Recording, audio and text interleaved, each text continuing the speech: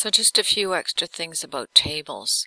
When I put the insertion point into this cell and then go to the Layout tab and put my formula in, because it sees a number above, it's trying to put uh, this particular function in, and we don't want that. We want it to sum the um, numbers to the left of that cell. So sometimes you need to change it yourself. And so just keep an eye on, again, it, it seems to default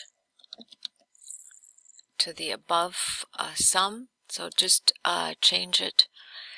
Another thing is one of the tables does have some special characters and in order to put those in, you will need to go to the Insert tab, Symbol, More Symbols, and by default, it may be, say, it may be displaying normal text here. You'll need to change to Calibri, which is what we have here, and you will find those accent, special accents on the letter in this um, in this dialog box. So you just click on it and click insert. It will show up and you can close the box or keep it open for the next time that you need it. The other uh, thing is here that if if we had a formula put in and we wanted to show as dollars and cents, with a dollar sign, we need to change this number format here to this one with the dollar. This is going to give us two decimal places, and that's how we would do that. I know it's not appropriate for this particular table, but it's just an example. Also, in some of the exercises, it asks you it asks you to move the table. So if I take this table using this move icon, I can move it around and the text is wrapping around it.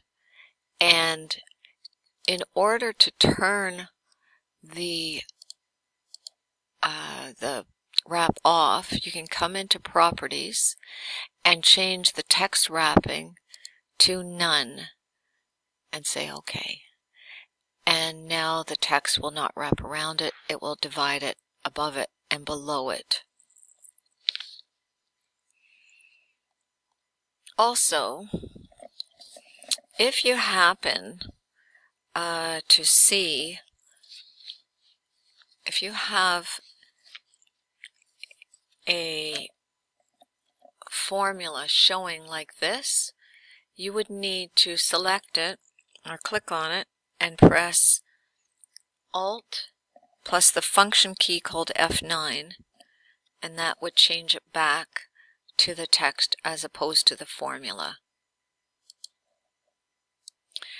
With the properties, you can also, after you've uh, selected the table in the properties, you can change the alignment of the table in here. Uh, we know that the tab key will forward us through these cells and if we're at the very end of the table we press the tab key uh, we would normally start a new row here. I'm just going to point out that you can use the control tab key to forward to half inch tabs which you can see here. So the control and tab key will put in a tab for you. The other thing that you can do is select a table and in properties go to the alt text tab and you can put in uh, some text and some description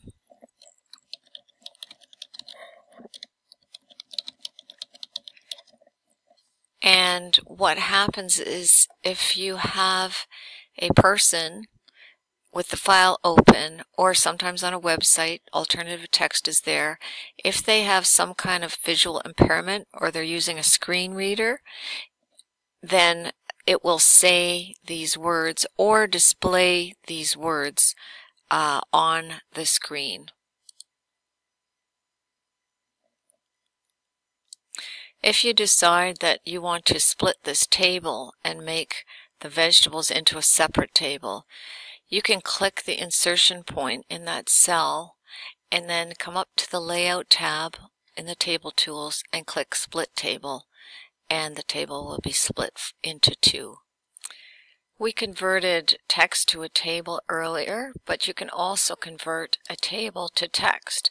You need to click on that move symbol to select the entire table and then go up to the Layout tab in Table Tools and find the convert to text, which is way over here in the data group. And you can click that. You will get a little table here. We've used, it knows that we tab from cell to cell. So when you click OK, it will change it, it will change it to text. You can change the shading of a cell or multiple cells by well, if you just have this one, put your insertion point in the cell. In the Design tab, which is involves the look of something, you can find the shading and then uh, pick the color that you would like. If you select both of them and pick a color, it will shade both of them. If I want to change the row height, I can do that here in the height box. I have selected them first, and I can also go to properties and come in here and put the, the height that I would like and say OK.